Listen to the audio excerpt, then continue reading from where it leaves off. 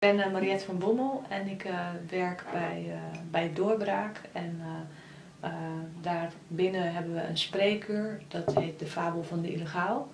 En daar werk ik nu zo'n tien jaar bij ongeveer. Doorbraak is eigenlijk een actiegroep. Het is een landelijke actiegroep die sinds elf jaar bestaat. We hebben allerlei strijdterreinen zoals ehm, ja, meer rechten voor vluchtelingen en migranten tegen racisme, voor uh, uitkeringsgerechtigden. En daarbij proberen we onszelf, onszelf, samen met mensen te organiseren en uh, ja, verbeteringen af te dwingen, zeg maar. Oké. En hoe past de fabel van de illegaal daar binnen? Nou, de fabel bestaat al wat langer. En de fabel is een typisch Leidse organisatie, terwijl Doorbraak landelijk is. En de fabel van de illegale is een van de initiatiefnemers tot het opzetten van Doorbraak. En de Fabel bestaat nu uh, eh, 25 jaar. En uh, eerst was het een Leidse actiegroep. Toen hebben we doorbraken opgezet. En uh, nu is de Fabel van de Illegaal is eigenlijk nog steeds het spreekuur voor mensen zonder verblijfsvergunning. uit Leiden en omgeving dan. En je zegt dat je tien jaar actief bent. Hoe ben je hier zo terecht gekomen?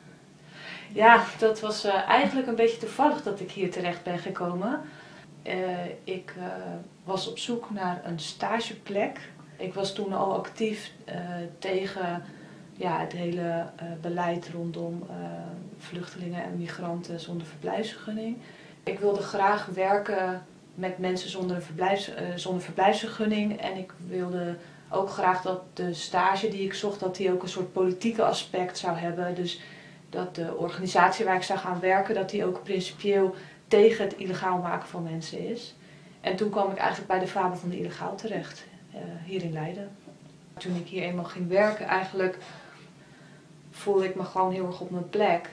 Uh, ook met zeg maar, de andere mensen die hier werken, mijn kameraden zeg maar.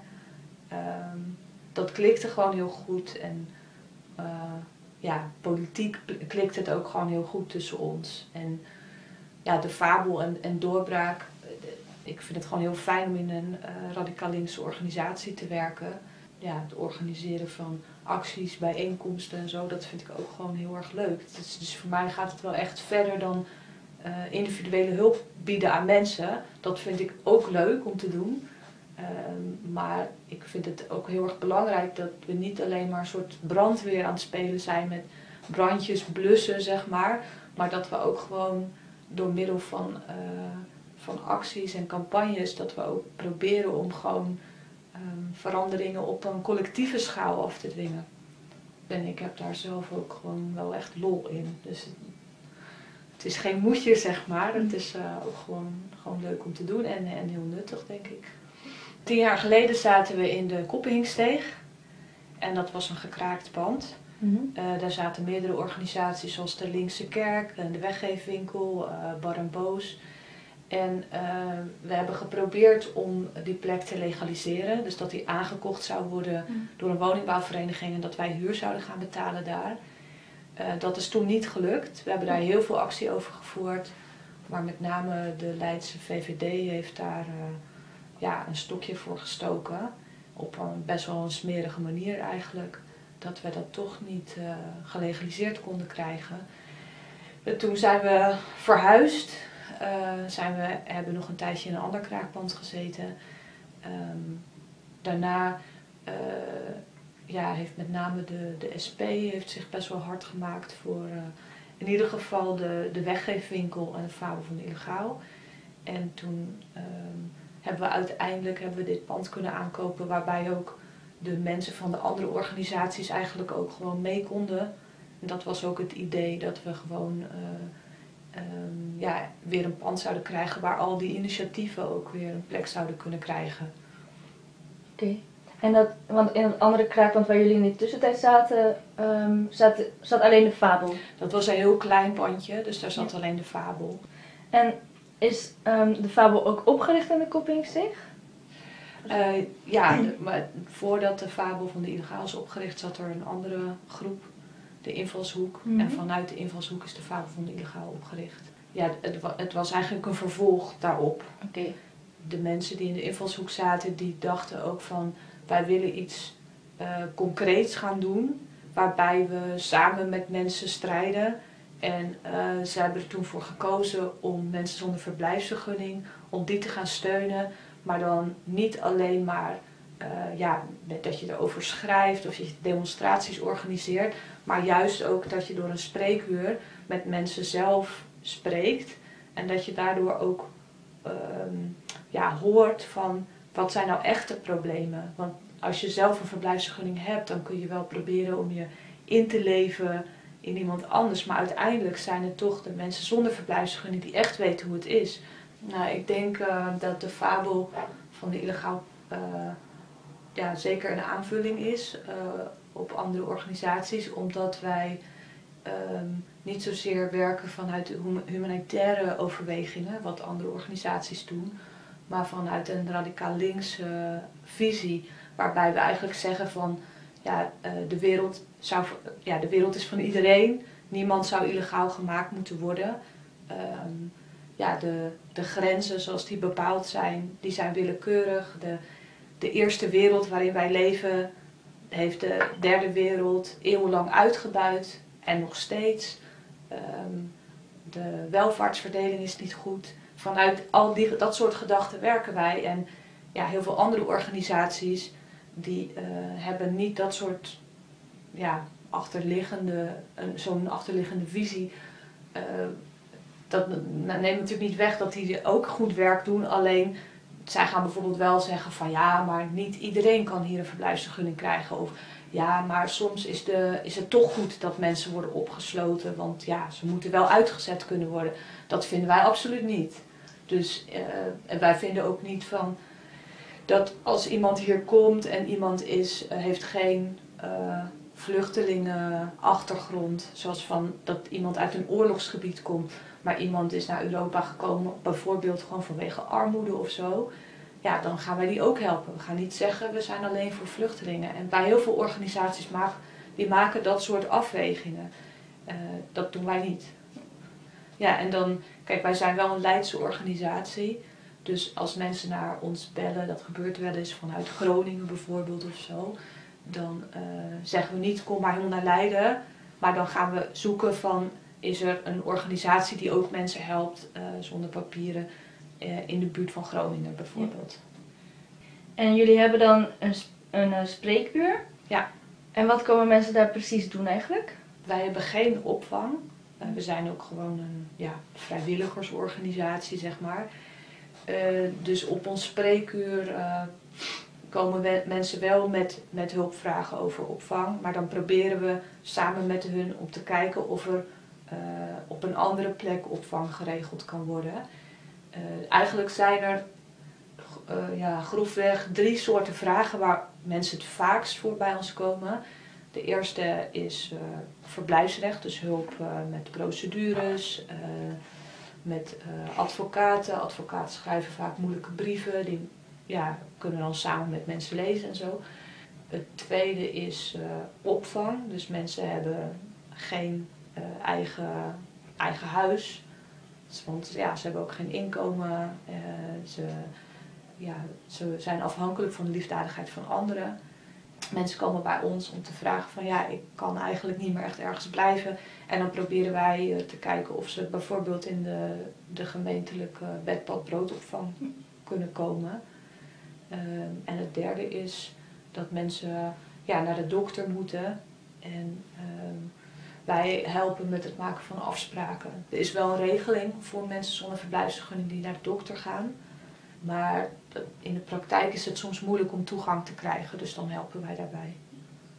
Er is een, uh, een aantal jaar geleden, toen ja, was er een, een man die ja, eigenlijk al heel lang zonder papieren in Nederland uh, was.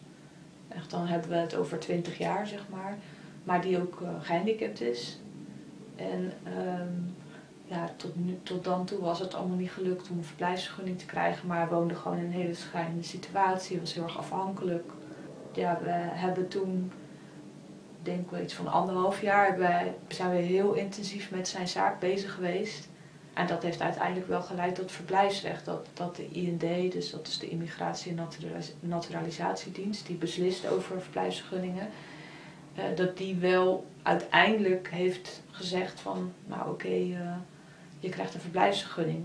Dat was niet makkelijk. We moesten daar echt uh, heel hard aan werken en de advocaat moest daar ook aan werken en zo, maar dat, dat is wel gelukt. En ja, dat gebeurt af en toe dat mensen een verblijfsvergunning krijgen. Maar het is gewoon heel moeilijk, want de, regels zijn er eigenlijk op gebaseerd om zo min mogelijk mensen een verblijfsvergunning te geven. Dus het is echt een heel gevecht. En ook uh, vaak heeft het geen goede afloop, maar in dit geval wel. Maar dat, heeft uh, heel veel tijd gekost en heel veel inzet, zowel van ons als van die man zelf, om uh, van alle dokters en zorgverleners allemaal papieren in te leveren. En, ja, dat heeft uh, heel veel voeten in de aarde gehad. En dan helpen jullie hem door met de advocaat te praten, door met de instanties die daarover gaan te praten en de dokters. En. Ja, nou goed, uh, er moeten, bij zo'n procedure moeten gewoon heel veel formulieren worden ingevuld door alle artsen en zo. Dus hij heeft zelf telkens bij die artsen dan gevraagd of ze die formulieren willen invullen. Maar ik had dan wel een briefje meegegeven, telkens met wat meer uitleg. En die formulieren allemaal telkens weer opnieuw gekopieerd. Nou, het ging in deze zaak over 14 artsen, dus het was behoorlijk wat. Ja, en inderdaad ook met de advocaat overleggen, uh, telefoontjes maken, nieuwe afspraken regelen. Ja, al dat soort dingen eigenlijk. Je noemde al dat jullie een linksradicale organisatie zijn. Um, hoe staan jullie dan in de gemeente Leiden eigenlijk? Hoe gaat de gemeente met jullie om? Kijk, dit gebouw was van de gemeente. En um, de SP heeft ervoor gezorgd, zeg maar samen met onze campagnes en zo, dat wij dit uh, pand konden aankopen. En daarin speelde zeker mee dat er best wel veel goodwill uh, is in de gemeenteraad over Fabel van de Illegaal. En dat komt toch een beetje omdat wij zijn een soort ja, afvoerputje, zeggen we altijd. Uh, voor mensen die eigenlijk niet echt ergens anders terecht kunnen. En um, ja, de, er zijn genoeg gemeenteraadsleden die dat best wel waarderen dat wij er zijn en dat wij uh, ja, mensen helpen die tot de kwetsbaarste groepen in de stad behoren. Tegelijkertijd um, vinden wij eigenlijk dat de gemeente te weinig doet voor mensen zonder papieren.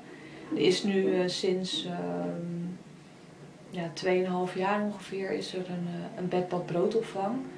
En er zijn gelukkig best wel wat mensen die wij al heel lang kennen die daar uh, onderdak hebben gekregen. Maar we hebben de afgelopen 2,5 jaar ook heel vaak meegemaakt dat mensen worden geweigerd.